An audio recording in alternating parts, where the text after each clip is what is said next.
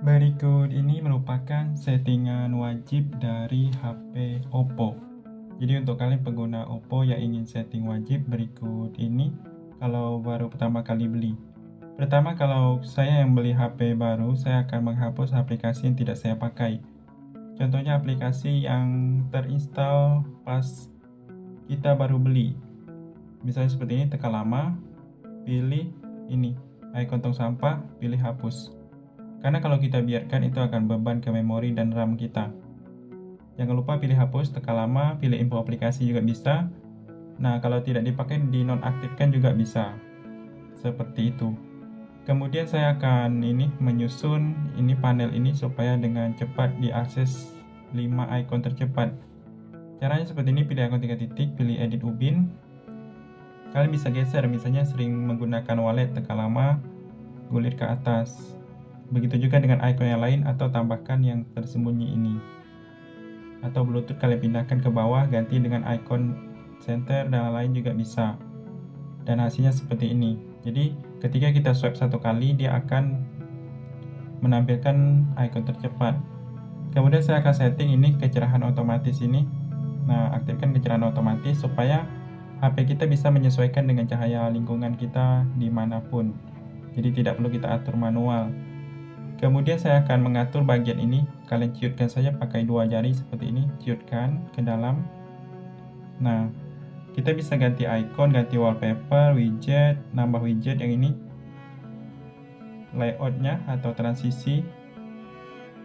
Dan lainnya ini untuk kalian yang ingin mengatur ketuk dua kali ini aktifkan. Jadi ketika ketuk dua kali di layar yang kosong itu akan membangun menutup layar. Ini ada juga ketuk dua kali untuk membangunkan ketika layar mati. Jangan lupa diaktifkan. Kemudian ini pengelola tugas tampilkan informasi RAM untuk di recent up. Majalah layar kunci ini bisa kalian matikan kalau tidak ingin ada wallpaper yang berganti-ganti di layar kunci. Kemudian ini tata letaknya bisa kalian atur mau 4, 4 kali 5 4 kali 6 juga bisa. Kalau saya beli HP baru saya langsung ubah dari model laci ini ke model standar. Jadi semua ikonnya numpuk di layar awal. Jangan lupa pilih sedang digunakan. Kalau yang ini pilih terapkan. Jadi silahkan dipilih mau pakai yang laci ataupun yang pakai semua icon setelah itu kalian bisa membuka pengaturan untuk settingannya. Di sini pengaturan. Di sini tidak ada banyak pengaturan kalau di WiFi jaringan seluler. Palingan kalau di jaringan seluler ini menentukan SIM berapa untuk kita gunakan sebagai paket data. Kalau koneksi dan berbagi ini juga sama, cuma ada untuk hotspot, NFC, VPN, dan tidak sering digunakan. Selanjutnya di sini ada wallpaper dan gaya tadi. Kalau HP kalian itu mungkin ingin disetting yang namanya fitur-fitur seperti font di sini. Nah, ini mengatur ukuran font. Kalau HP baru kan setiap pengguna preferensi ukuran fontnya beda-beda. Jadi kalian bisa atur di sini. Pilih terapkan. Kemudian ubah font juga bisa di sini tapi lebih banyak yang berbayar. Kalian pilih lainnya itu dia bisa beli font ganti icon juga bisa gaya icon seperti ini. Nah sesuai dengan masing-masing saja pilih terapkan ukuran icon juga bisa ditentukan di sini. Pilih terapkan. Kemudian kalau kalian yang ingin ganti tema di sini selanjutnya yaitu layar awal dan layar kunci. Di sini kalian bisa lihat ini pengaturan yang tadi. Untuk layar kuncinya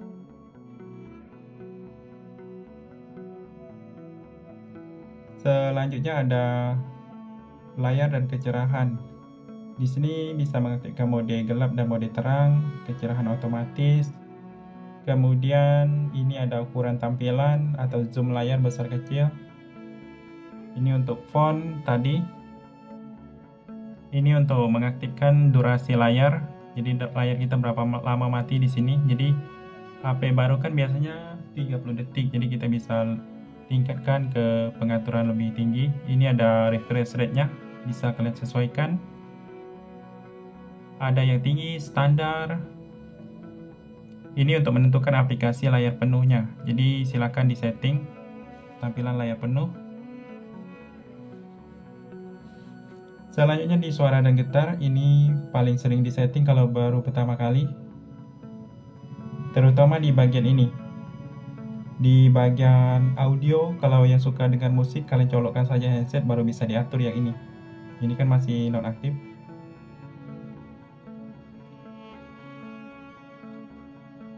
Ini ada menu haptic. Nah, haptic ini getar yang ada di tombol navigasi ketika kita memilih. Jadi ini bisa dimatikan kalau tidak suka. Kalau bunyi lainnya ini bunyi tombol angka, dial telepon, layar kunci, suara gambar, atau screenshot. Bunyi sentuhan bisa dimatikan kalau tidak suka. Yang lain ini settingan nada dering dan ada notifikasi, nada sistem, dan alarm. Notifikasi dan bila status kalian bisa setting di bagian ini bila status untuk menampilkan ini kecepatan layar dan persentase baterai. Yang ini, silakan di setting masing-masing. Untuk pengaturan lainnya kalian bisa aktifkan yang ini. Riwayat notifikasi, jadi setiap notifikasi yang masuk terekam di sini. Kalau ada teman yang menarik pesan itu akan terbaca di sini. Jangan lupa diaktifkan bagian itu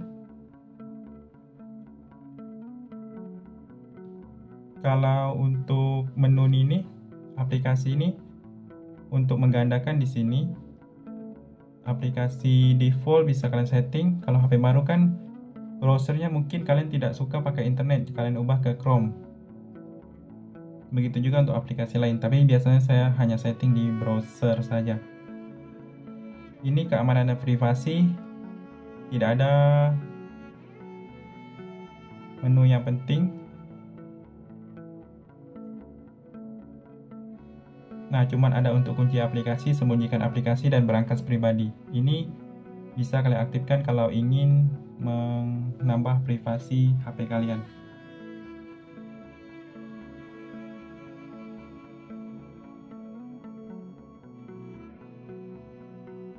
Selanjutnya di bagian baterai. Di sini ada beberapa menu pengisian daya cerdas ini silakan diaktifkan kalau kalian ingin umur baterainya lebih lama, aktifkan hentikan pengisian daya pada 80%. Jadi dia akan ngecas sangat slow. Jadi ini fitur baterai ini sangat bagus kalian aktifkan. Kalau fitur khusus ini untuk mengaktifkan layar belah, jendela mengambang. Selanjutnya ada pengaturan tambahan ini untuk kalian yang ingin full screen, ubah dari tombol ke gestur. Kalian lihat di sini tombol navigasinya hilang. Ini untuk mengubah urutan tombol navigasinya mau kanan atau kiri. Biasanya setiap pengguna itu beda-beda, ada yang mau di kanan, ada yang di kiri.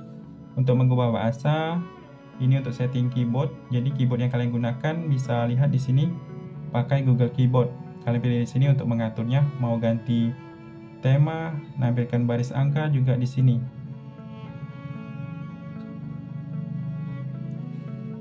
Nah, tema bisa kalian ganti untuk tema Google Keyboardnya.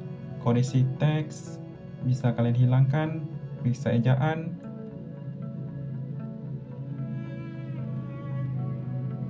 Kemudian ini untuk ngatur tanggal dan waktu kalau mungkin tidak akurat biasanya HP baru itu sering tidak akurat jadi bisa kalian atur matikan dulu yang ini Nah, atur manual. Kalau ingin ikut jaringan, aktifkan secara otomatis. Yang ini bola asisten, bola melayang. Ini untuk gestur dan gerakan. Kalau kalian ingin aktifkan screenshot tiga jari, ini diaktifkan. Bisa screenshot tiga jari. Dan ini untuk screenshot panjang pengguliran. Kemudian ada untuk tombol dayanya. Kalau kalian sulit matikan HP pakai tombol power, ini diubah dari Google Assistant atau asisten suara, ubah ke tombol menu yang ini. Jadi kita tekan tombol power itu langsung keluar yang namanya menu daya mati. Nah, seperti itu, tanpa harus muncul Google Assistant dulu. Kemudian ada untuk jadwal hidup daya mati. Kalau layanan sistem ini cuman untuk mode AI ya. Kalau tentang perangkat ini cuma untuk menambah RAM. Kalau kalian mungkin merasa RAM kalian tidak terlalu cukup, aktifkan tombol ini, baru kalian pilih RAM-nya dan kalian kembali pilih mulai ulang atau hidup ulang untuk menambah RAM.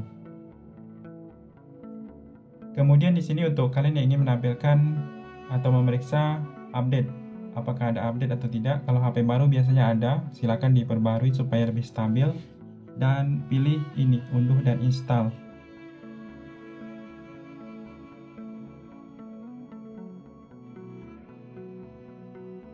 Jadi sangat mudah untuk kalian yang ingin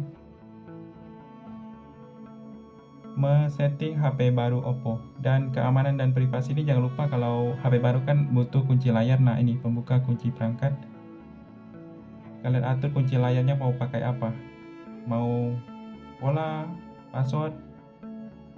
Kalau untuk yang namanya sidik jari di bawah ini nah ya ini itu saja silakan dicoba. Kalau kalian punya pengaturan yang wajib setiap beli HP baru, silakan komen di bawah video ini.